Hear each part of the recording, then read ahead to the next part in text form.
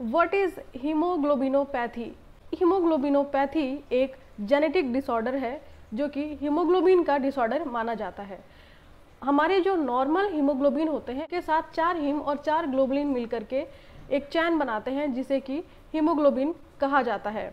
But जब haemoglobin में quantity और क्वालिटी इशू आते हैं तो उन्हें एक टर्म देते हैं हीमोग्लोबिनोपैथी हीमोग्लोबिनोपैथी कितने टाइप का होता है? फ्रेंड्स हीमोग्लोबिनोपैथी टू टाइप के होते हैं.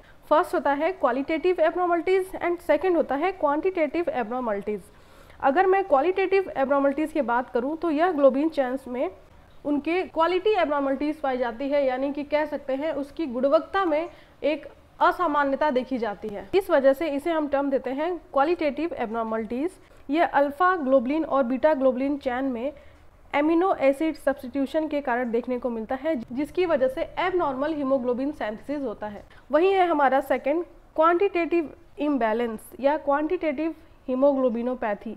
यह ग्लोबलिन चैन में डिफिशेंसी के कारण होता है, जिसे हम कह सकते हैं क्वांटिटी में डिफिशेंसी देखने को मिलती है और यह कंडीशन अल्फ़ा थैलेसीमिया या बीटा थैलेसीमिया को प्रभावित करते हैं। इसे हम बोलते हैं क्वांटिटेटिव हीमोग्लोबिनोपैथी आई होप ये हीमोग्लोबिन को लेकर के एक छोटी सी जानकारी आपको अच्छी लगी होगी और ऐसे ही इन्फॉर्मेटिव वीडियोस को पाने के लिए दिनी स्टडी पॉइंट के चैनल को सब्सक्राइब कर लें जिससे आप मेरी डेली आने वाली नोटिफिकेशन को वॉच कर पाएँगे।